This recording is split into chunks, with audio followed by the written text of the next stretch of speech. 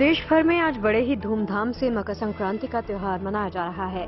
मकर संक्रांति पर स्नान और दान की परंपरा रही है। यूपी के प्रयागराज से लेकर उज्जैन में शिप्रा नदी तक लोगों की भीड़ दिखाई दी।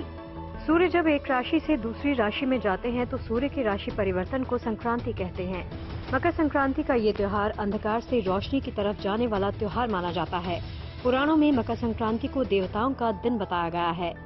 मकर संक्रांति से मांगलिक कार्यों की शुरुआत हो जाती है। यूँ कहें कि मकर संक्रांति के साथ ही वो सभी शुभ काम शुरू हो गए जो खरमास की वजह से रुक गए थे। मकर संक्रांति का ये त्योहार अंधकार से रोशनी की ओर जाने वाला त्योहार माना जाता है। पुराणों में मकर संक्रांति को देवताओं का दिन बताया गया है। धार्मिक मान्यता है कि मकर संक्रांति पर सूर्य की आराधना के साथ साथ सूर्य और शनि से जुड़ी वस्तुओं का दान करने से जीवन में खुशहाली आती है।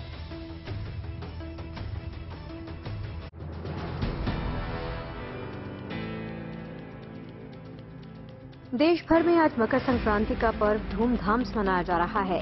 गुजरात और राजस्थान के शहरों में मकर संक्रांति पर्व पर शनिवार सुबह से ही पतंगबाजी का दौर शुरू हो गया। इस दौरान केंद्रीय गृह मंत्री अमित शाह से लेकर गुजरात के सीएम भूपेंद्र पटेल तक पेंच लड़ाते देखे गए। गुजरात के अहमदाबाद में गृह मंत्री अमित शाह पतंग उड़ाते नज़र आए, जहाँ अमित शाह का ये अंदाज देखते ही बन रहा था। गृह मंत्री शाह वेजलपुर और घाट लोधिया विधानसभा क्षेत्र में आयोजित उत्तरायण पतंग महोत्सव में शामिल हुए थे। इस दौरान वो एक मज़े हुए खिलाड़ी की तरह गृह मंत्री ने पतंग उड़ाई। पतंगबाजी के दौरान अमित शाह की पत्नी भी उनके साथ रही। इससे पहले अमित शाह ने श्री जगन्नाथ मंदिर में जाकर पूजा अर्चना की और भगवान का आशीर्वाद लिया। वहीं गुजरात के सीएम भूपेंद्र पटेल ने भी अहमदाबाद के दरियापुर में आयोजित पतंग उत्सव में हिस्सा लेकर पतंग उड़ाया।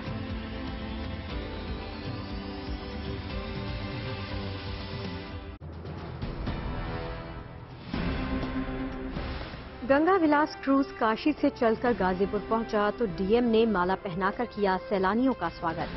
भव्य स्वागत और सुरक्षा व्यवस्था देखकर सैलानी भी गदगद हो गए। गाजीपुर में सैलानियों ने ई रिक्शा की सवारी का लुत्फ उठाया। गंगा क्रूज विलास के टूरिस्ट लाड कॉर्नवालिस मकबरे पर भी गए। यही नहीं, स्थानीय धोबिया और प्रयागराज की घड़ियाँ नृत्य संगीत का भी सैलानियों ने लुत्फ लिया। डिब्रूगढ़ जाने वाले और गंगा की लहरों पर दौड़ने वाले भव्य गंगा विलास क्रूज शुक्रवार देर रात गाजीपुर के जमानिया गंगा घाट पर पहुँच गया था। क्रूज के विदेशी सैलानियों का पहले से ही स्वागत की पूरी तैयारी कर रखी थी। डीएम गाजीपुर आरिका अखौरी ने इसकी तैयारी करवा रखी थी।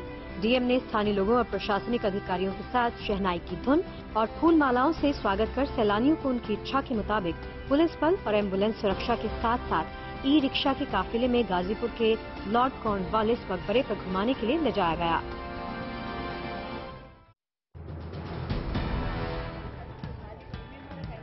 राजस्थान के झालावाड़ में गोवंशों के लिए एक अनोखी पहल की गई। झालावाड़ ज़िले की श्री कृष्ण गौशाला ने मकर संक्रांति के मौके पर गौशाला के 1100 गोवंशों के लिए छप्पन भोग का आयोजन किया। छप्पन भोग में 21 तरह के व्यंजन के साथ फल सूखे मेवे, तेल चूरी तिल का इस्तेमाल किया जाता है। छप्पन भोग कार्यक्रम के लिए श्री कृष्ण गौशाला को खास तरह से सजाया गया। छप्पन भोग के खास आयोजन के लिए पिछले तीन दिन से श्री कृष्ण गौशाला में कारीगर जुटे हुए थे। पंद्रह दिन से हम तैयारियाँ कर रहे थे, सब जगह हमने समाचार भिजवाया कि छप्पन भोग का आयोजन तो सबको बहुत अच्छा लगा। और यहाँ आकर के सब अपने ओपिनियन दे रहे हैं कि ऐसा अनूठा आयोजन तो आपने बहुत जोरदार किया है। श्री कृष्ण गौशाला की इस अनोखी पहल को देखने के लिए आसपास के इलाकों में रहने वाले लोगों की भीड़ लगी रही। गोवंश के लिए छप्पन भोग का ये कार्यक्रम कौतूहल का विषय बना हुआ है।